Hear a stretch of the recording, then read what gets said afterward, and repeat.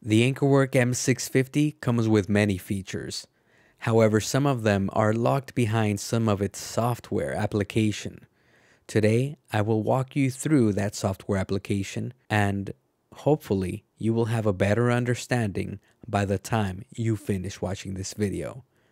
I'm LL Mel and you are watching Creators TEK. So you're going to be seeing the device software here on screen. And the container for the Ankerwork box itself is plugged in via USB-C straight into my computer. And since I'm only using one receiver it's only got one uh, receiver already on the box and has the transmitter in the box. So it's going ahead and transmitting directly from there to my computer and that's how you're getting this audio and you can also by the way connect the transmitter directly to your PC and you can go ahead and do audio that way with using this wireless mic system. However, since I'm going to be adjusting and fiddling around with some of the equalizer settings for this, it can only be done when plugged in through its own proprietary box. So that's what we're doing right now. And we're on the main menu here of the Ankerwork M650. As we can see on this main menu, we can see the firmware version. It's on the latest version as of the time of this recording. We can also check out the storage. I don't have any storage in on the device itself. Uh, and that's only, that's not this device. It's the other transmitter. It's the one that's actually uh, still in the box right there. It's giving me the information for that one. If I were to have this one also in the box itself, I would be able to see the information for that specific transmitter. But since I'm actually using it right now, I can't have it in the box and be using it. It's, you know, pretty obvious. However, I'm just showing you the user interface, the UI. Um, it shows the customized TX power button. That's this button right here that you see lit up in blue. This button, if you click on it, you can I can I have it set to mark the file as you can see on here on the screen. I can set it to do nothing. Just click on none and it'll save it to none. And if I want it to have have it set to mute. So if I push this button, it mutes. I can just click on here and it'll do that. Again, what you are seeing is the transmitter inside of the box itself. It's not the transmitter that is on my body right now. But uh, this is how you would go ahead and adjust those settings. It shows you the storage. And if you were to look at the recordings you have, they all get listed right here on this page. You can also adjust the gain on here or on the transmitter itself. That's an option that's on there. Um, however, as far as customizing the TX power button, that's something that I don't see anywhere on the transmitter itself. You have to be actually plugged in to the computer itself to go ahead and make this adjustment or to view the files from storage. Um, so if you click on there, that's where you would see the files. And I mean, it's all pretty straightforward, relatively simple to follow. We have the transmitter and then we have the receiver, which is the M650RX. So TX for transmitter, RX for receiver. So if that makes it easier for you to follow, that's what helped me as well. Um, one thing that you should know is this transmitter right now, I have it at plus 6 dB of, of, of sound. So it's a little bit louder than what is typically at default.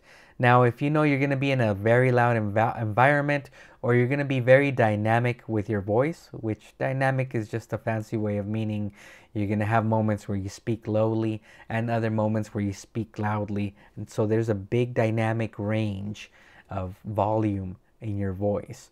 And so you want to set it to uh, an appropriate means. And so now we're here on screen. So let's stick to what we're here for. we can go ahead and adjust the noise reduction mode. Uh, noise reduction is the software built into these microphones that uh, go, goes ahead and blocks out some of the background noise. Now the low noise, as we've seen in the tests, uh, it's pretty good actually. It doesn't distort your natural voice too much, just a little bit. High noise reduction, yeah, it gets rid of all the background noise. However, it distorts your voice way too much. Uh, a little bit too much for my liking. Uh, let me know if you have a scenario that you have in mind where that might actually work out just fine for you. I can't think of one. There's a safe mode here.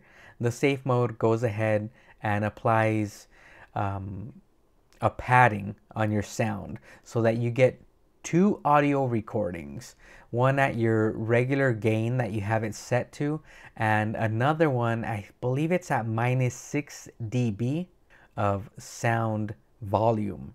So if you're going to be one of those people that know is going to have an environment or maybe even yourself that gets really high and starts screaming and doing all these dynamic sounds that volumes that go up and down real high. In order to prevent your microphone from clipping this is what you want to have on. Now keep in mind if you're going to have safe mode on then it's going to be recording one audio track uh, to your left audio and another audio track to your right audio. So that's going to be a stereo mix that you can then in post-production use to go ahead and fix any points where your audio might or might not be clipping. Um, if you're using both mics at the same time, then this might not be the best for you. Actually, it won't be available for you to use because each mic is going to be using the sound space, if you will. Uh, left audio channel and the right audio channel for both mics unless you're one of those that goes ahead and just sets everything to mono where the whole mix is jumbled up into one track and then there's really no going back from there. Uh, it's going to be really really difficult for you to go ahead and, and make adjustments to your audio levels as opposed to having each audio level separate for your editing needs but uh, yeah, safe mode option is available. It's a good option to have, especially if you're going to be going solo with your mic recordings or your vlogs or for whatever your purpose is. The following is the sound mode. I touched on it right now. So you can record your sound in stereo, which means that one mic is going to be going to your left audio channel and the other microphone is, or I call them microphones because they have the mic on them, but the transmitter is what I'm talking about, the transmitters. Uh, one transmitter is going to be going to your left audio source, and the other transmitter is going to be going to your right audio source. And I recommend this be the way you record your audio, and then in post, you can go ahead and uh, go ahead and set each channel as its own uh, mono source. And what this allows you to do is, let's say I'm talking at one level and my guest using the other microphone is talking at a different volume level, then you can go ahead and in post-production raise the volume level that you need to raise up or lower the other volume level that you might need to uh, lower. In that way, your audio is balanced and it's better for your audience to look at. So that's one thing that you want to be looking into. Um, going ahead and have this set to stereo. However, if you're you know specifically your situation where it's just going to be you recording and you don't need to worry about having a safe mode, then mono is, is something you might want to consider. Mono is where your audio source goes in straight to just left and right channels from one recording, from one source.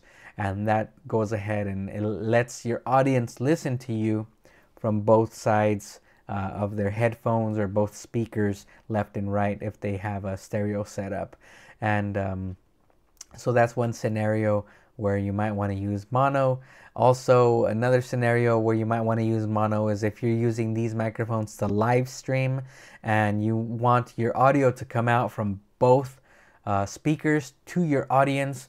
That might be another situation where you want to be set to mono. However, in most recording situations, what I recommend is always having it in stereo. And in stereo, why? Because it allows you to turn on safe mode and it allows you safety for when you're going ahead and doing post production work and something goes wrong and the audio channels get too high or too low. That's where the safe mode comes into play and you're able to save yourself from any potential uh, clipping in your audio and having your audio all messed up. So that's the sound mode. Now for the equalizer mode. This is one of my favorite modes, the equalizer option here that this microphone has. Nothing else that I've seen has built-in equalizer settings. Now I know a lot of people will probably say I can just equalize it in post-production. However, if you're a run and gun shooter and time is a, of the essence and you know exactly what you need and how you need it, then these equalizer settings will definitely come to your rescue. They will save you so much time because once you go ahead and set these settings, they're going to help you save all that time that you would spend in post production with equalizing your audio. You can pre equalize it and it'll stay saved on to your transmitter so that way it knows when when once you have it set your equalizer settings once you have those set it knows to equalize your audio to those settings whenever you're out and about and using this system it's pretty genius if you ask me. Again, if you're one of those people that prefers to equalize in post-production, nothing wrong with that. It's just going to take a little bit of extra time to do that. But the equalizer settings are set right here. And there's also a low pass filter. The low pass filter that you can set to 75 hertz or 150 hertz. For those of you that don't understand what a low pass filter would be is it gets rid of noises at 75 hertz or at 150 hertz or below. So noises typically are not that audible to the human ear for the most part. The human ear can listen from anywhere from 20 hertz all the way up to 20 kilohertz, uh, generally speaking. However, this has the roll off here from 75 hertz. So your human ear should be able to distinguish just a little bit in the audio department here. But uh, 75 hertz, you'll probably be getting rid of a lot of background buzzing or low fan noises, things like that. So it gets rid of a little bit of the background noise. However, it does take away a little bit of the fullness in your voice, especially in the low frequencies, which is the bass in your voice. So in my particular case, for my voice, for what I'm doing, I'd rather just keep this off and then in post production, if I need to, I go ahead and uh, turn on a, a, low pass filter uh, depending on where I'm at and what the background noise situation is. Um, we also have basic settings like backlight duration. You can go ahead and set it from 15 seconds, 30, 1 minute, 3 minutes and that keeps on the backlight on your transmitter on for that set amount of time. You can set the device language, the device time from here. It gives you the version on here of the firmware. So this is just very simple to follow. Uh, you can't really go wrong. It's very well thought out. Uh, very, just very nice. Let's go ahead and go back to these equalizer settings. Now, this is the point where I can go ahead and equalize it uh, to my liking and then I'll just play it back and see what sounds the best for my particular voice. I have a unique voice from your voice, so my settings might not exactly be what your settings are as well. And also, my taste might be different than your taste in the way you want your voice to sound or the voice of the talent whose settings you're equalizing for. But in this case, let's go ahead and get started. This is what the equalizer sounds like in the flat profile setting. I will call this the setting number one. This is what the equalizer sounds like in setting number two. This is what the equalizer sounds like. Sound number three. This is what the equalizer sounds like. Sound number four. This is what the equalizer sounds like in sound number five. This is what the equalizer sounds like in sound number six. This is what the equalizer sounds like in setting number seven. This is what the equalizer sounds like in sound option number 8. This is equalizer setting number 9. Uh, oh, and one more thing before I end this. You can directly access the user manual from here. How neat is that? Sometimes we don't have the booklet around, so we go ahead and just as simply as getting this, installing the firmware, I mean, the software on your computer, and you have it available for you here. You can look at everything on here that you need to look at, all the information, all the specs, everything from the booklet that it comes with. And since I've been using this system, it gets updates relatively frequently. I would say maybe once or twice each month since it's been out. It's been out for about six months as of the time of this recording, and it's been getting some fairly regular updates. Okay, so back to me now in the post production. Now that we went ahead and set up the equalizer settings, you might be wondering, which one did you pick? Well, I picked option number seven. I felt like the flat setting was a little bit too flat, which is what it's supposed to be, just flat. That way you can mess around and tinker with the equalizer settings in post, which is actually a good thing. The microphone doesn't sound at its best until you go ahead and equalize, as with most microphones. Feel free to ask any questions in the comments section. Thank you very much for watching Creators TEK.